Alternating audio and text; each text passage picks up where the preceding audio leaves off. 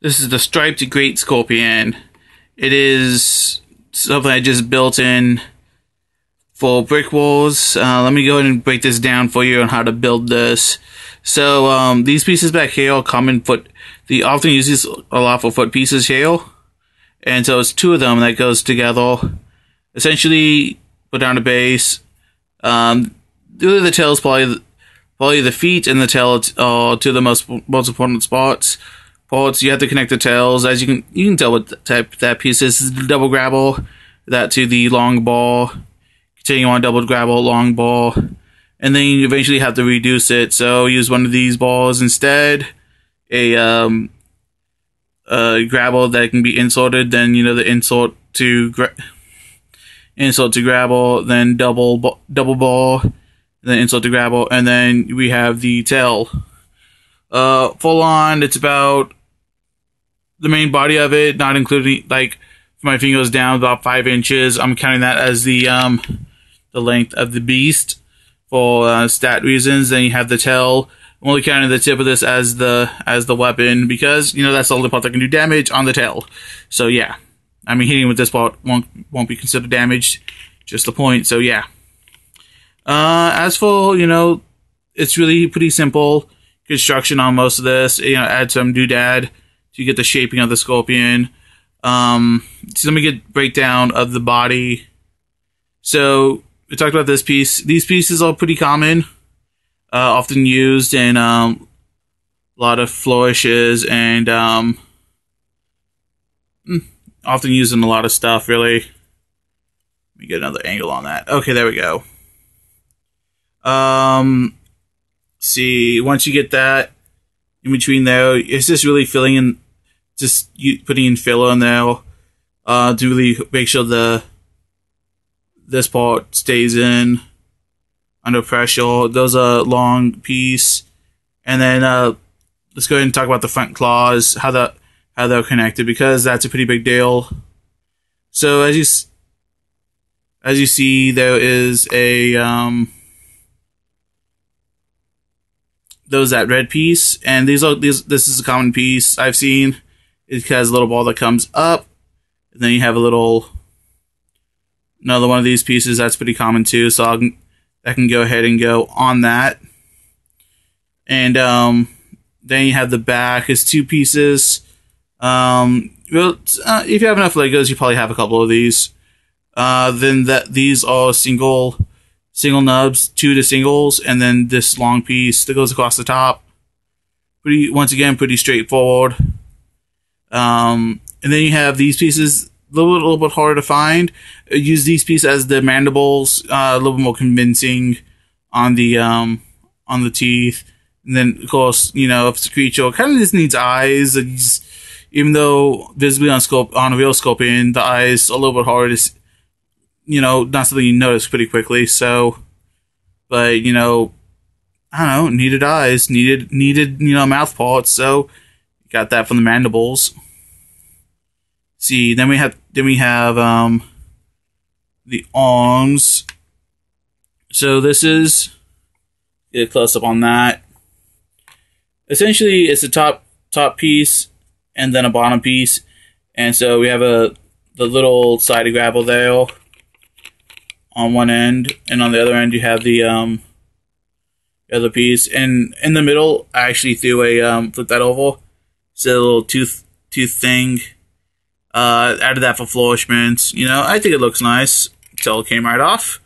I'll go ahead and fix that later.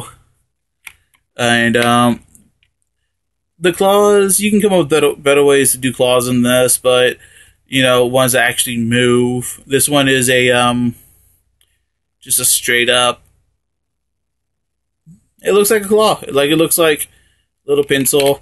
So these can close up pretty much like that and hold hold anything in. Say like, go ahead and grab this guy, for example. Uh, maybe I'll switch hands. Go ahead and grab him in. And he's got him. Let me put the tail back on. I think I can do it one handed. Gonna need two hands. Ah. Woo. Come on. Alright. On. So he's in there and you just Stab him. Bam! You just got poison stingled. Ooh. So he's in there, you know, getting attacked with two claws, and the mandible bite. Ah! Dash him around. Yeah. Anyway, so this is the striped great scorpion uh, that I built. Uh, feel free to build your own variations. Uh, just a recap on the most important pieces. You know, just make sure you get the tail down. Uh, it's pretty straightforward. You know, try to try to scale it down as you go. So you know, it starts off relatively thick, thin, all thin, and then like just simple at the end. Uh, this is the way I come up with the tail spike, mainly because you know, actually reaches out in front of the scorpion, which I think is really important.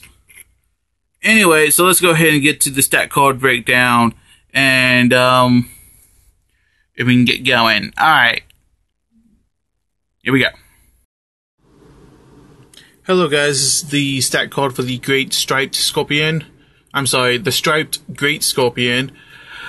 Uh, let's go ahead and get, get off. It's it's costing double the double almost double the cost of a fully fleshed out minifig hero at the cost of 24 so that includes armor weapon and you know any skills that it may have but this is a fully fleshed out battle beast of course uh, the size is 5 almost 2d6 for armor checks movement is 8 it has a skill die of 4 because it is not a, doesn't have a full mind. It's only programmed as in a, as in a trained animal being trained like a dog.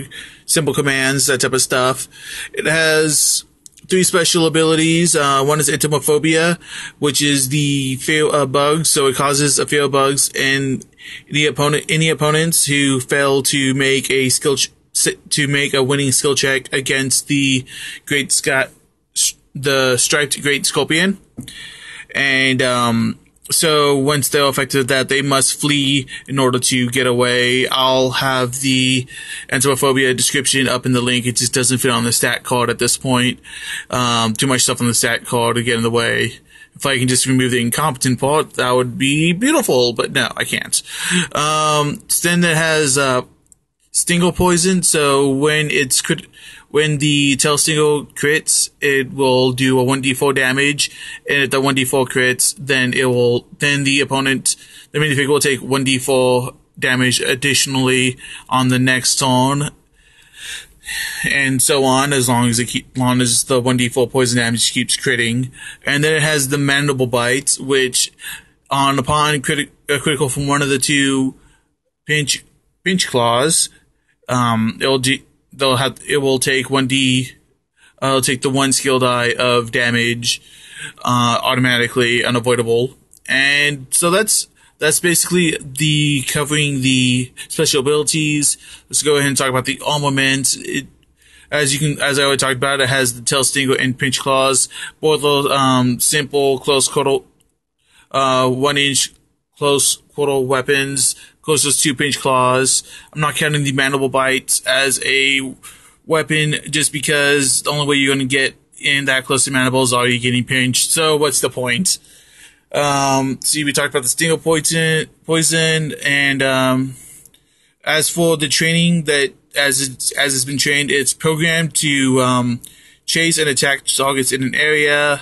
We already talked about entomo- entomophobia, and um, let's go ahead and go for the flavor text.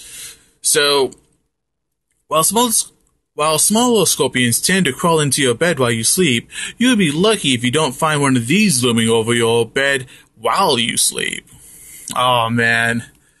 It actually took me a while to come up with the flavor text on that one, but I hope you did enjoy it. Um, so it does cost double the cost of, you know, the standard heroic minifig and whatnot. But hey, it's a big bad battle beast anyway. So thanks for watching. Like, subscribe. Um, if you're looking forward looking for more videos, you see what I have done the the Claude um a stat card for a modified Claude Hulkbuster and a stat card for the Vicious Scarab. And anyway, so go ahead and check out those videos, like, subscribe, and uh, stay tuned for more custom builds for Brick Wars and other stat card Brick Wars stuff that I come up with. Have fun!